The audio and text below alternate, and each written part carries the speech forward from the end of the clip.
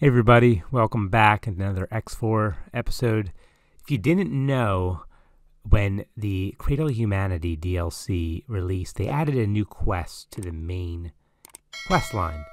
It's called Cease and Desist. Basically, after you have Boso all set up in the HQ, you're going to get a message about uh, some ship doing some scanning, and he needs help with you getting rid of him. So this is only when you're playing not as one of the Terran races. So this is kind of the the mirror to the the story that's going on there.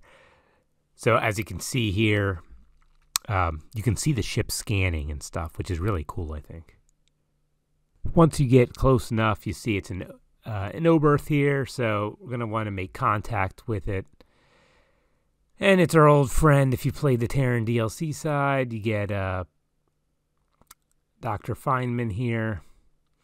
And basically, he's the one causing all the trouble. And if we want to get rid of him, which Boso does, because he's interfering with some of Boso's work and Boso can't be unhappy, we're going to need to get him some antimatter cells, which is oddly much like the start of the main quest where you have to get a ship with antimatter cells. Anyway, so we'll get him some. Gotta go get him some antimatter cells. There are discussions and, and stuff you may want to listen to if you run through this quest, but for the sake of time, I'm just going to be uh, getting one of my ships to bring down some antimatter cells, and hopefully we can send them on their way.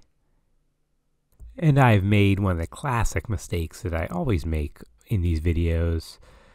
I sent my medium ship down with the antimatter cells. I'm in a Cerberus, which is also a medium ship, and neither of these can dock with the Oberth. So I have no way to give them the antimatter cells. I've done this a few times before, so I had to have to bring down a, a small size ship, do a ware exchange in the build storage of my of the HQ, and that'll uh, get the goods where they need to be, and then drop them off on the Oberth. So let's skip ahead to that. All right, here's my Callisto I sent down. Oh, I think the pilot might be a little drunk. Or did he stop by a space weed station? I don't know. But uh, hopefully the good doctor doesn't mind we just dinged up a ship. Good old AI.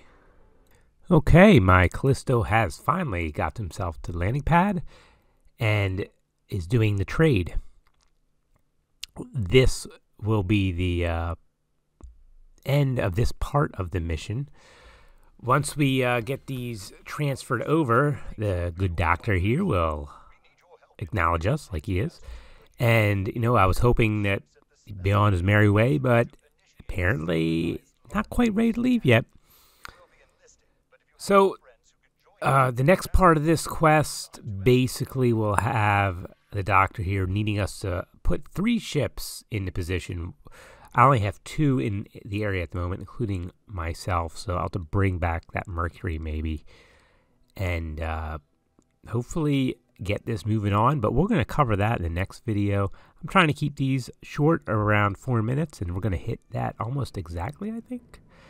So thanks for watching. We'll catch you in the next part coming very soon. I hope you are all doing well out there, and I'll see you next time.